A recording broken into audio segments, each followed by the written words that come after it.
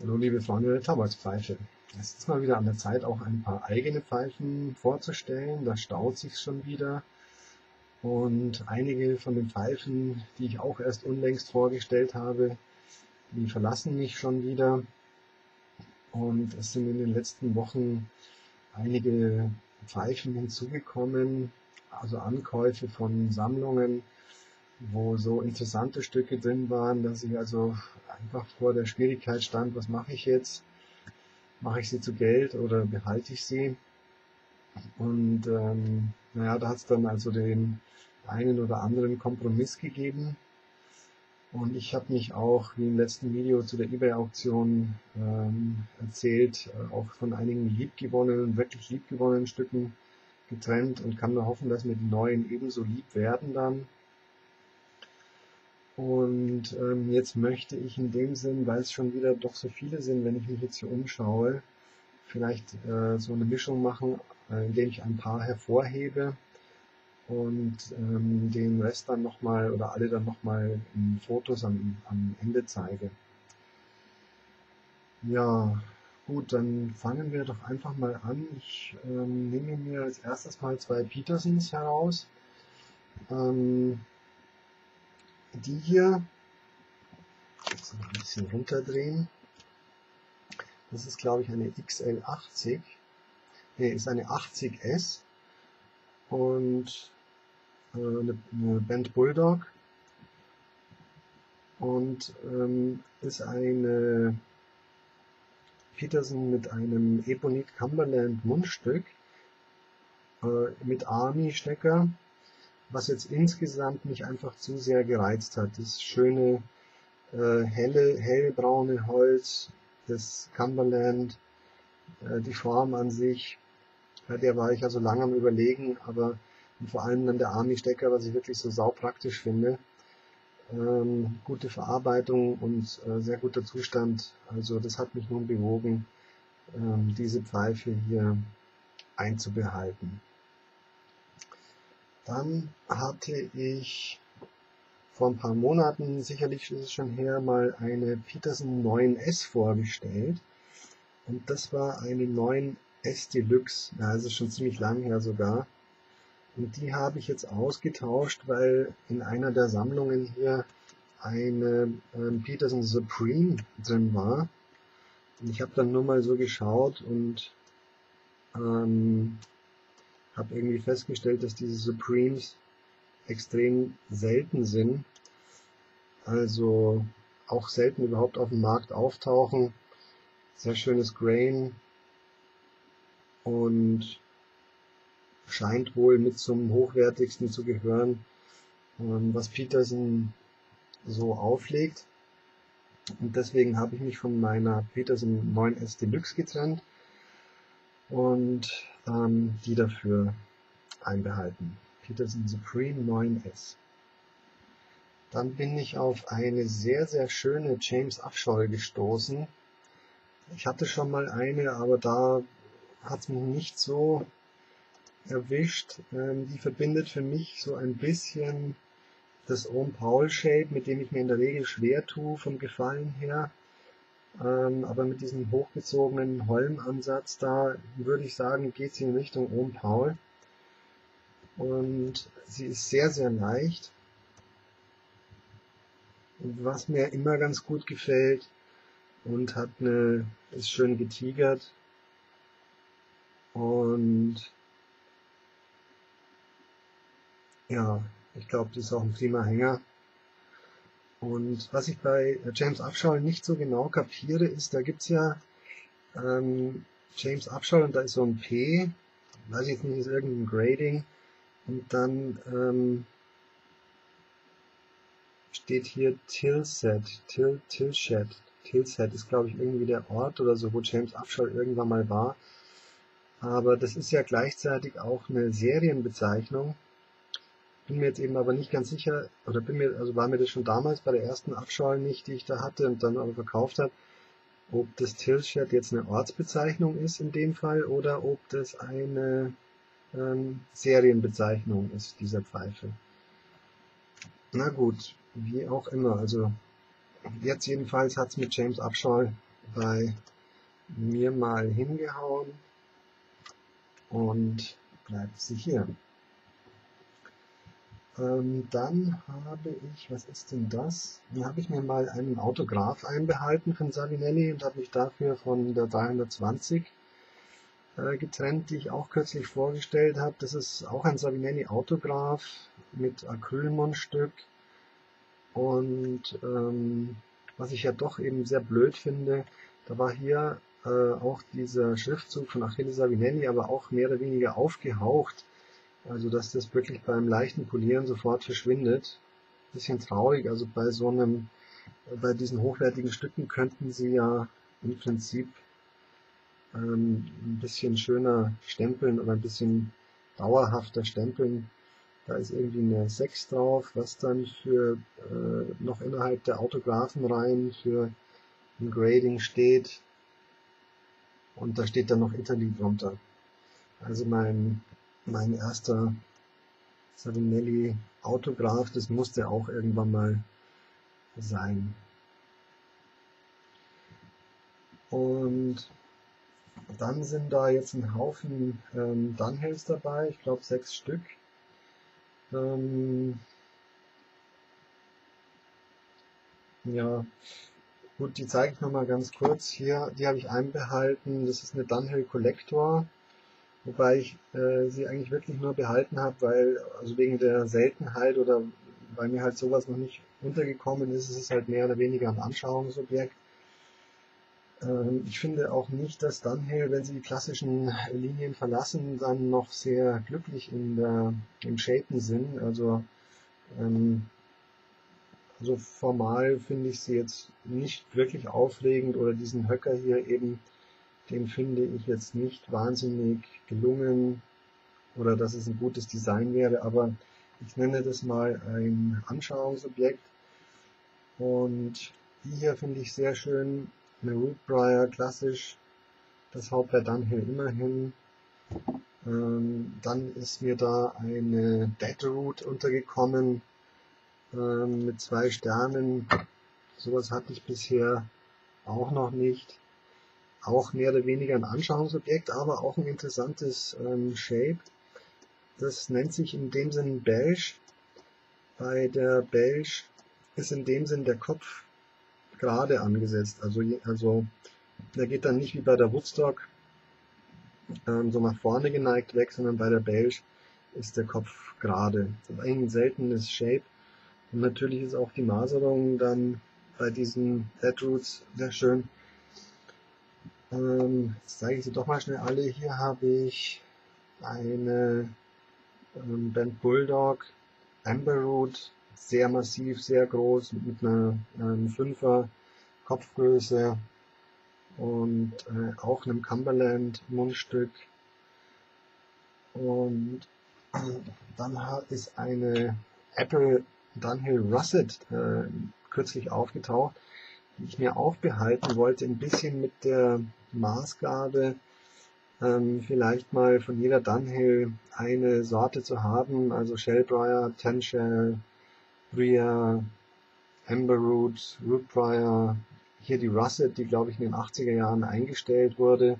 Dann gab es glaube ich noch eine County oder sowas. Ähm, sowas habe ich bis jetzt noch gar nicht gehabt.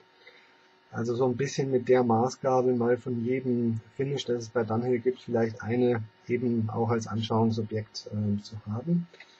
Und dann ist mir noch untergekommen eine äh, sehr, sehr eigenwillige OD.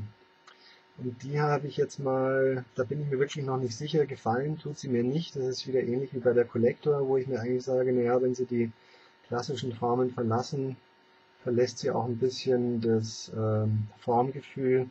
Die Inner Tube ist noch drin, bei der Russet übrigens auch die Inner Tube drin. Ähm, das ist eine OD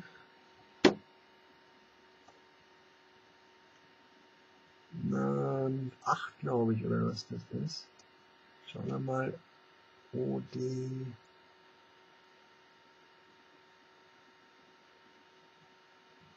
äh, ich schaue mal lieber so. Ja, es ist eine OD8 und ähm, Erinnert mich irgendwie an den Fußball. Mag sein, dass es jetzt an der Fußball-Weltmeisterschaft liegt, aber kann, kann man ja auch nicht so ganz bestreiten, dass sie so ein bisschen einen halben Fußballkopf hat. Also reich facettiert, ähm, relativ klein, OD 8. Genau, und dann sind, ähm, hatte ich ja ein paar ähm, eigentlich runde Zahlen zu feiern. Beispielsweise meine tausendste Pfeife, das ist jetzt aber auch schon wieder Wochen her. Und meine tausenderste Pfeife ähm, ist eine Pfeife von Paul Ilstedt gewesen, die kann ich aber nicht zeigen, weil diese Pfeife hatte ein abgebissenes oder abgebrochenes Mundstück. Die habe ich jetzt vor gut drei Monaten äh, an den Paul Ilstedt höchstpersönlich geschickt zum Aufarbeiten und Herrichten, neues Mundstück anfertigen. Und der Gute äh, lässt mich seitdem eigentlich sitzen und warten. Ich habe auch schon mehrfach ihm hinterher telefoniert, aber er findet immer irgendwelche Ausreden und sagt immer, die Pfeife ist schon fast fertig. Äh, ich hoffe, ich sehe sie wieder. Ähm, aber insofern, ähm, ja, habe ich jetzt, wie sagt man, hm, äh, habe ich jetzt sublimiert oder, ein, oder den Fruststau anderweitig beseitigt, indem ich mir die letzten High Grade, die mir untergekommen sind, allesamt einbehalten habe. Darunter auch eine, eine Paul Ilstedt, und zwar wirklich ein tolles Stück. Das ist ähm, die hier. Äh, das ist eben wirklich Massivholz, ein richtig großes Teil ähm, vom Shaping her, so wie eigentlich alle, die ich zeige jetzt dann, bis auf eine, äh, eher konservativ, also fast klassisch. Äh, nichts äh, großartig Danish Freeform oder Freehand. Das ist also die Ilstedt. Ich zeige dann nachher nochmal Fotos davon, man sieht es ja dann eigentlich besser. Dann ist mir eine Bang untergekommen, auch ein Riesenprügel.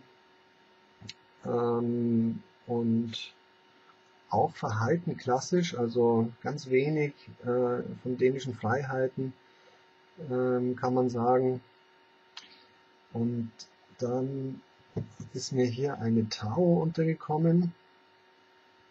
Bei der habe ich bei der Aufarbeitung, des, das ist hier so ein appliziertes Cumberland, das habe ich jetzt mal nicht ähm, groß poliert, weil der Tau da seinen Schriftzug draufsetzt kann man hier so ungefähr sehen. Den wollte ich nun ähm, wirklich nicht äh, nach Möglichkeit wegpolieren. Der Schriftzug ist, sitzt auch nochmal hier unten. Diese Pfeife ist mit A gradiert, wobei ich bei Hilstedt keine Ahnung habe, was das soll. Bei der Pfeife wundert mich aber zum Beispiel im Allgemeinen, wenn man hier mal das Mundstück anschaut, diese, ich meine, ist, äh, dieses Weiß sitzt im Mundstück drin, aber es ist irgendwie ein verstörender Fleck. Ich habe am Anfang gedacht, das wäre irgendwie äh, Malerfarbe und habe da rumpoliert und ist aber nicht weggegangen. Und was auch ganz interessant ist, dass diese Pfeife doch äh, erkennbar einige Spots hat. Also deswegen bin ich mir jetzt auch nicht ganz sicher, mit wegen der, von wegen der Graduierung, was das A bedeutet. Ist das ein sehr niedriges? Also hier sehen wir mal einen Spot in dem Lichtkegel. Und da sind noch mindestens zwei weitere drauf. Aber die muss ich jetzt nicht unbedingt finden. Ich glaube, da vorne war auch einer. Also nur ganz allgemein, also das ähm, zeigt, dass diese Pfeifen, diese High Grades eben auch sowas durchaus haben können. Genau, das ist die Tau. Und ich finde, das, äh, was unter den High Grades dann ein richtiges Highlight ist, ist ähm, diese Pfeife von D.O. Larsen, die jetzt ähm, wirklich äh, für mich eher unter den, den, unter den Begriff dänische Freehand oder Freeform passt und die wieder mal beweist, was für unglaublich schöne Pfeifen bei Larsen entstanden sind in der Hochzeit. Das ist ein richtig schweres Ding, also die ist nicht unbedingt gut geeignet, um im Mund zu halten. Hat bestimmt 80 Gramm oder sowas. Na, nochmal schauen, ich schreibe es dann auch rein. Ähm, das habe ich jetzt nicht ganz aufgeschraubt, korrekt, deswegen ist da ein kleiner Lichtstrahl zu sehen. Also eine richtig, richtig schöne äh, Larsen Freehand, für mich die schönste Pfeife unter den gezeigten High Grades gerade. Und wenn ich mir diese, ähm, diese Shapung, dieses, ähm, äh, dieses Design, diese Formen und Linien so anschaue, dann würde ich vermuten, dass diese Pfeife beispielsweise von Lasse Scofgard fabriziert worden sein könnte. Das würde typisch, ein bisschen dieser Kopfschwung hier oben, der würde typisch äh, so zungenartig ähm, zu Lasse Scofgard passen.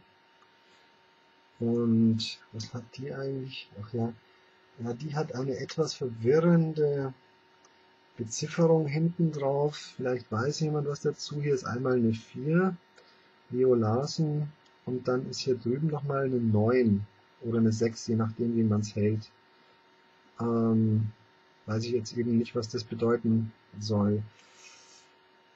Und also diese Pfeife ist jedenfalls für mich wieder mal ein Beweis. Ich habe noch ein paar schöne neue Larsens hier, die ich irgendwann mal in den Verkauf stellen möchte, aber da ist eine schöner wie die andere und für mich irgendwo auch ein bisschen der Inbegriff äh, klassischer oder klassischer dänischer Freehand, ja, könnte man doch schon so sagen.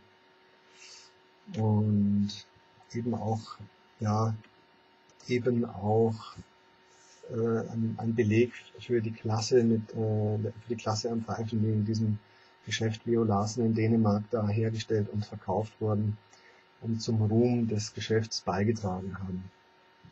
Ja, und dann möchte ich nochmal schnell ähm, ein paar äh, Calabashs vorführen.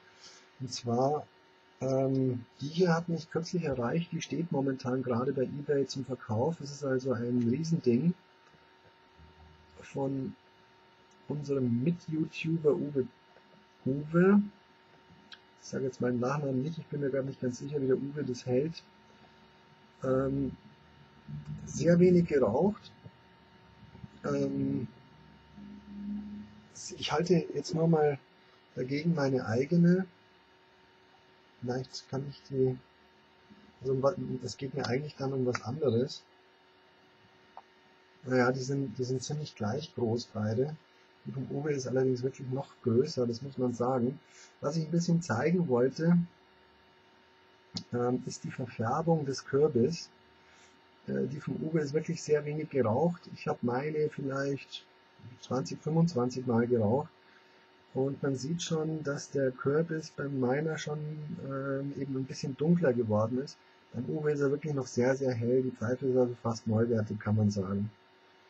Und äh, da sieht man, wie der Kürbis nachdunkelt. Jetzt möchte ich euch aber noch schnell zwei weitere Calabash zeigen, ähm, die ich eigentlich auch einbehalten möchte, denn es handelt sich dabei, ähm, diese Stambach Calabash haben ja so einen ähm, Meerschaum-Masserkopf und der ist wirklich sehr, sehr schwer. Also hier beim Uwe, da wiegt der, äh, der Meerschaum-Masserkopf oben schon, glaube ich, alleine 70 Gramm aber er ist auch dementsprechend groß, also im Verhältnis auch zu dem riesen Kürbis unten dran. Und ähm, jetzt zeige ich hier mal schnell zwei, und die fallen sehr viel kleiner aus, zwei niedliche kleine Calabash von Strambach. Und da sieht man schon im Vergleich zu vorher, ähm, die sind also wirklich stark gebraucht gewesen vom Vorbesitzer oder halt also ordentlich rangenommen worden. Und ähm, wenn ich jetzt da nochmal den Kürbis vom Huwe dagegen halte, dann kann man sehen, wie dann über die Jahre des Gebrauchs dieser Kürbis eine wunderschöne Färbung bekommt und nachdunkelt. Also das ist wirklich eine Freude. Es war ähm, also letztendlich weniger eine Freude, die Calabash zu reinigen. Ich habe das jetzt auch zum ersten Mal gemacht äh, habe den Kopf mit Alkohol aufgefüllt und dann mit Zahnbürste und Pfeifenreinigern und so. Da war also sehr viel Kondensat drin. Sieht man später auch in den Fotos, die ich noch reinhänge, ein bisschen die Vor- und Nachherverschmutzung. Und ich habe sie aber sehr, sehr gut sauber bekommen. Und ähm, nur diese Stelle hier, die ist natürlich, ähm, da ist es, da, also da weiß ich nicht, da kommt man einfach nicht gut hin.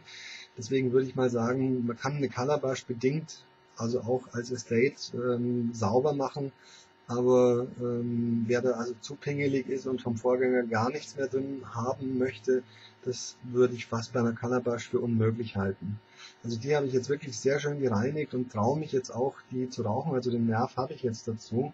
Jetzt zeige ich nur noch mal im Vergleich ähm, im Größenvergleich die Riesenkalabasch von Strambach, von Hube und dagegen äh, die kleine Bauer und die ist wirklich fast zierlich dagegen. Und also jetzt probiere ich es mal, ich habe sie noch nicht geraucht und werde mal sehen, ähm, wie das dann ausfällt.